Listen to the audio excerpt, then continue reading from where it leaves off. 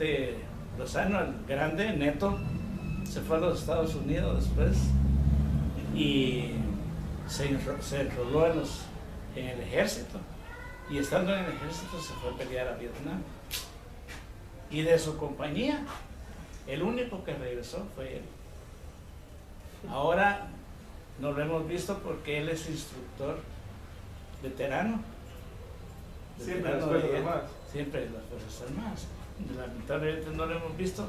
Yo quisiera verlo porque quisiera traerlo a Chiquimula y hacerle un homenaje a este muchacho que representó muy bien a los scouts de Guatemala, en Estados Unidos. Pero ¿cómo fue la anécdota esa de que por qué él, él regresó y...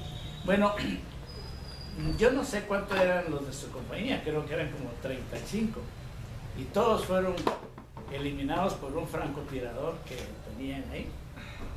Y después de tres días de estar los muertos ahí y era haciéndose muerto, llegaron los helicópteros y, los rescataron, todos. Muertos y el único vivo. El único vivo era él. Es un hecho muy lamentable, pero así, así pasó. Otros eh, miembros de, ese, de este primer eh, grupo Scout está Tono Díaz, profesor Tono Díaz, que a descanse porque ya se nos fue el tono, pero Tono Brocha como todos lo conocíamos, porque su papá era pintor de brocha gorda, entonces decíamos Tono, tono Brocha, y se ponía molesto, pero así era, ¿verdad? Bueno, y, eh, luego tenemos a Guillermo Cabrera, al ingeniero Guillermo Cabrera. El ingeniero ahora Guillermo Cabrera, eh, que fue gerente de, la división aquí del, del INDE en Chiquimula. Cuando, bueno, otro que participó ahí en el desfile era yo, ¿verdad? Exactamente. Yo era el que llevaba el tambor, el que llevaba el, el, redoblante. El redoblante, el que daba las órdenes de, de marcha. De paso de marcha. Ajá. algo muy bonito, algo que no podemos olvidar porque nuestras primeras experiencias y con aquella euforia juvenil que teníamos. O sea, resumiendo esa parte de la historia que nos contás, Fito, quiere decir de que en 1955 más o menos ustedes iniciaron con, la formación de este grupo. Y eh, ya oficialmente el grupo Scout número uno Baden Powell de Chiquimula inicia un 15 de septiembre de 1956. Sí. O sea, quiere decir que hasta esta fecha pues tenemos 63 años de, de fundado. Así es. 63 años. Es todo un acontecimiento. Es, es más de una vida para nosotros, ¿verdad? Don Fito, algo muy importante. Mucha, mucha de la gente, y eso es a nivel mundial, ¿verdad? Mucha gente nos mira con, con pañoleta. No saben por qué la tenemos, pero dentro del movimiento Scout sí sabemos la importancia que tiene la pañoleta para nosotros, lo que significa nuestra representatividad. ¿Cómo surgió la pañoleta del grupo 1 Baden Powell Chiquimula? Que cualquiera a nivel nacional sabe que la pañoleta roja, verde y amarilla es del grupo Baden Powell Chiquimula. ¿Cómo surgieron esos colores? Bueno, hablando con, con David Salgado,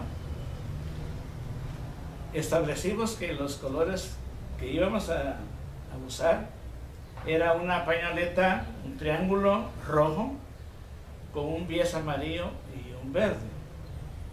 Tenía su significado porque el rojo eh, para nosotros en aquella época significaba eh, la sangre, sangre scout.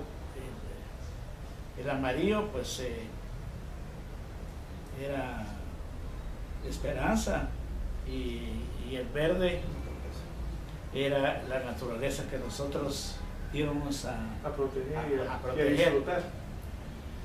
la pañoleta siempre le hacíamos un nudito en la punta. Ese nudito significaba que nosotros teníamos que hacer una buena acción todos los días. Y cuando hacíamos una buena acción, deshacíamos el nudo.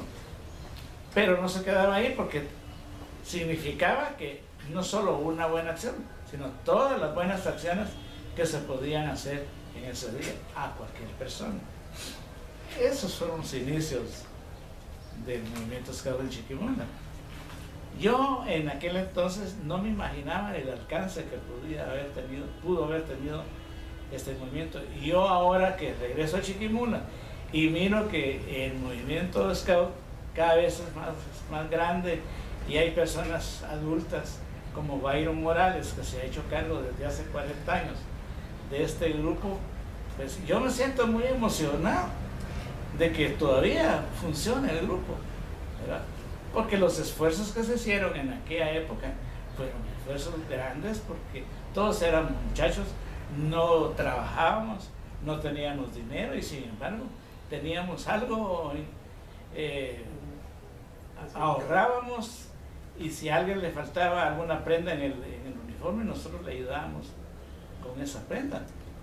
Así es que, pues gracias a Dios, yo doy gracias a Dios que todavía existe un grupo Scouts de Chiquimula. Porque si algo va a alejar a, los muchachos de las malas acciones, es un grupo Scout. Ojalá que todos los padres comprendieran que si apoyaran a los Scouts, tendríamos menos delincuencia en las calles. Sí, es muy cierto. Esa invitación que usted hizo ahorita, don Fito, ojalá que, que, por medio de nuestras redes sociales, por medio de nuestro, nuestro próximo canal, primeramente Dios de YouTube, pues tanta la juventud como los padres de familia puedan ver esa, esa invitación que, que acá nuestro, nuestro hermano mayor Scout, el Scout número uno Chiquimula, pues está haciendo.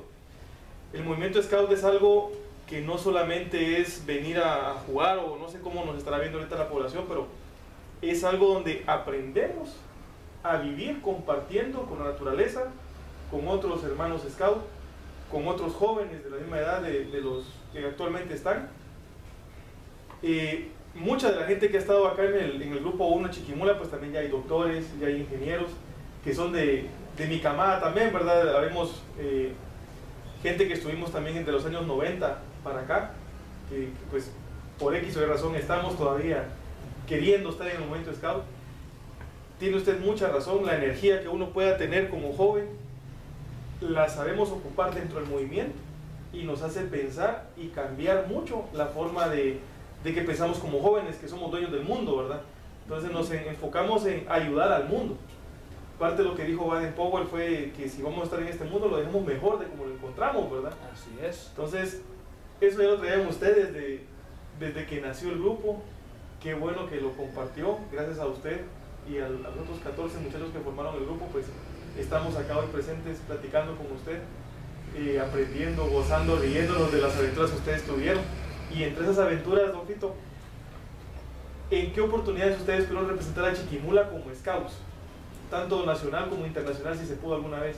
Bueno, en el, a finales de, de 55, que todavía no estaba bien formado el grupo, eh, yo representé al grupo de Chiquimula en El Salvador, en el Camporí Centroamericano de El Salvador, en 1955.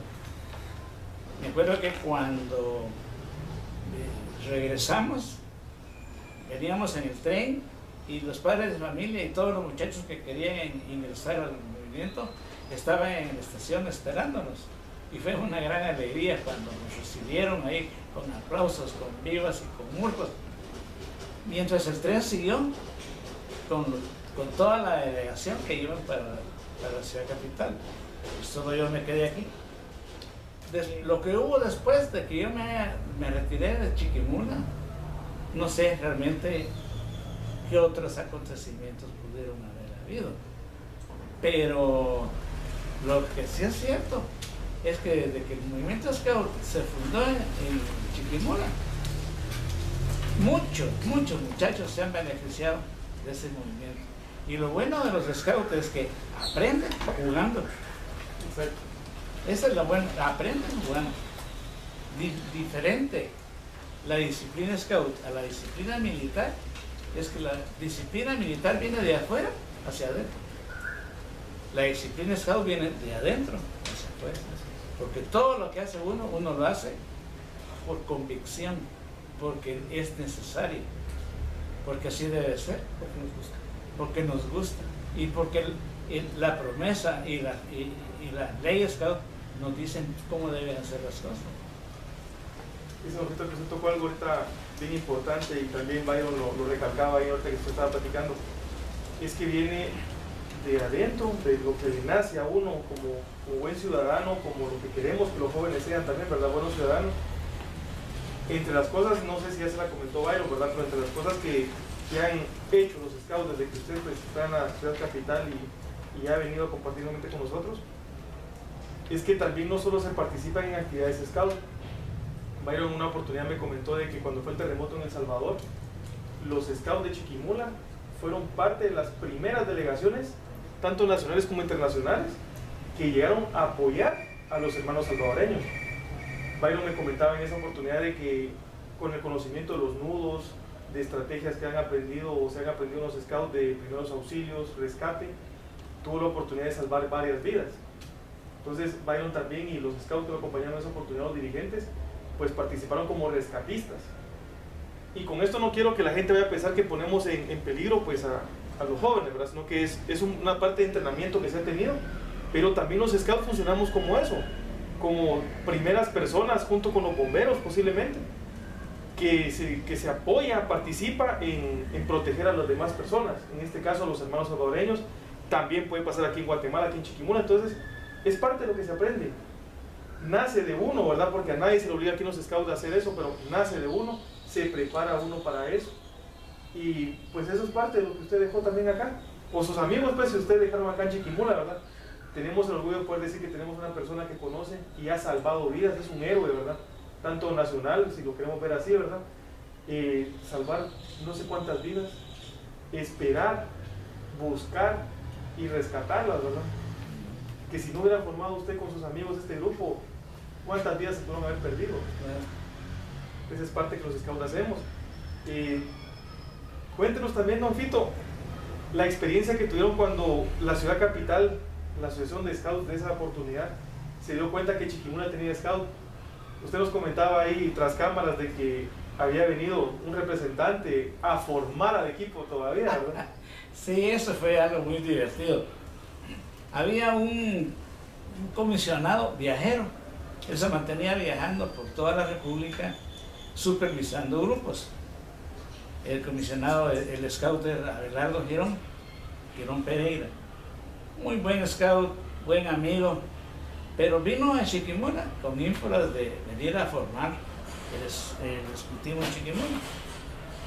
Pero mandamos a dos eh, muchachos a, la garita de entrada a Chiquimula como eh, recepción, comité de recepción. Allá pararon a al transporte de Pais, de Jorge Pais, que ahí venía la mamá de la camioneta. Ajá, ahí venía el, este scouter, ¿verdad? Y lo trajeron ahí a mi casa donde estaba la, nuestra sede. Pues él cuando entró, dijo, a ver cómo están estos pelones, ¿verdad? Y ya estaban eso, e, esa herradura de 100, de 100 muchachos esperando ser atendidos. Y dijo, ¡Hala! pero si aquí ya está formado el grupo. Pues sí, pero fue una gran satisfacción que de la oficina vinieran a saludarnos, a, supervisarnos. Pero aquí ya, ya habíamos hecho mucho, bastante. Y yo calculo que ese año se, se involucraron unos 200 muchachos al movimiento. Durante, durante ese tiempo que me estás hablando, estamos eh, más o menos 4 o 5 años, ustedes todavía eran jóvenes, adolescentes, formaron este grupo sin tener un dirigente. Por lo que entiendo, ustedes fueron también los primeros dirigentes de este grupo. Y luego ya pues eh, llegaron a los 18 años y ustedes fueron los primeros dirigentes del grupo Scout también y luego se fueron eh, incorporando cuantos jóvenes en esa, en, esa, en esa época, ¿verdad? Sí, el primer, el primer jefe de grupo que tuvimos fue David Salgado. Era como es mayor scout y mayor conocimiento, pues él era un líder nato. Él era el jefe del grupo. Entonces el primer jefe de tropa fue su servidor. Pero yo empecé como guía de patrulla, porque empezamos con ocho muchachos. Esos ocho muchachos cuando ya estaban entrenados, ya se les dividió por parejas a los ocho y formaron cuatro patrullas. Esas cuatro patrullas fueron las que empezaron a, desfilar en el 56, pero eh, fueron, fuimos los primeros, eh, los primeros dirigentes que tuvo el movimiento Estado en Chiquimona, así es. Qué maravilloso, Donfito. Eh, no sé si nos quisiera comentar usted algo más, alguna otra anécdota que tuvieron, o, o los planes que, que, podríamos tener para el grupo, porque si se da cuenta, del 90, 91 que yo entré también al movimiento Scout de Chiquimula con este grupo, la casa Scout no era así como está ahorita. Eso ha sido un trabajo también que ha hecho la directiva de padres de familia, la jefatura de, de grupo, y nos estamos quedando cortos. Sinceramente nos estamos quedando cortos con, este local donde estamos ahorita. Y platicábamos también de, de, la gente que todavía pudiera estar, de los viejos lobos, como le llamamos nosotros, ¿verdad?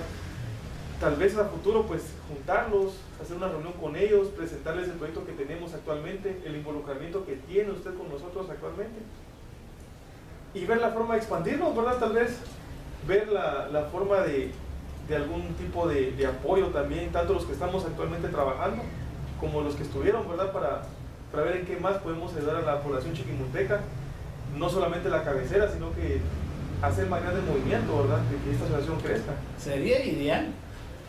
Yo, yo con el entusiasmo que tenía, me acuerdo que